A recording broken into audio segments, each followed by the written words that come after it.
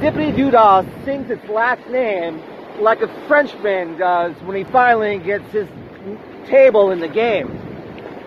It's a frequency and nuance. If Someone said to me, they're like, hey, you just won the spelling bee. And I'm like, ah, I love the spelling bee. It means so much to me. Words that are gravitate together from the alphabet right before me. It's like there's a secret relationship between these letters, like they know each other. How does L know M and N know S? What are these sentient little widgets of communication that form a sentence?